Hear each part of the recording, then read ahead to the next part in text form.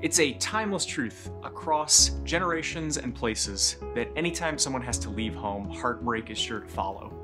One of the ways 19th century wealthy European immigrants were chasing away some of that homesickness when they came to North America was by importing starlings and finches and some of the old world European songbirds that they had known into the new world of North America.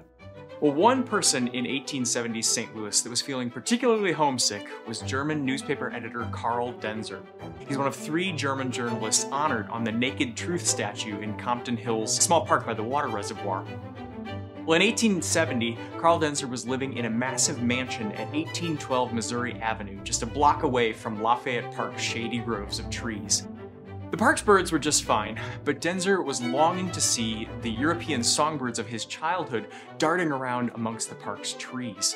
He worked with a local importer to import 24 Eurasian tree sparrows. This is a bird that is beyond unassumingly common in Europe and Asia, but entirely unknown in North America.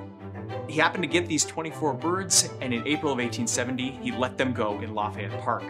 The birds must have loved their new home just fine because now, 150 years later, St. Louis has a permanent population of Eurasian tree sparrows numbering 15,000, every single one of them a descendant of Carl Daenzer's colony of 24 transplants. The Eurasian tree sparrow today is a completely unique local aspect of St. Louis wildlife. Because this bird is a non-migratory species, they cannot be found anywhere else except for about 100 miles north up the Mississippi River Valley to about Hannibal.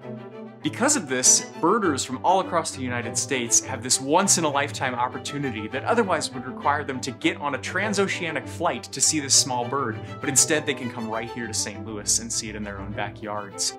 Birders have been known to schedule intentional layovers at Lambert Airport just to get the chance to see one. Included among them was James Schlesinger, President Richard Nixon's Secretary of Defense, who in 1972 chartered a private helicopter from Lambert to a local high school football field just so he could jump out and get a sight of one of these Eurasian tree sparrows.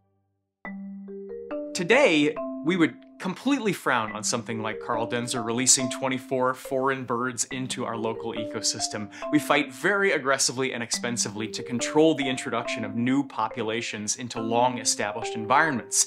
All you have to do is look at creatures like the emerald ash borer or the Asian carp or kudzu vines and see their presence in North America to realize the sort of cascades of environmental damage that can be caused by something even as small as a songbird.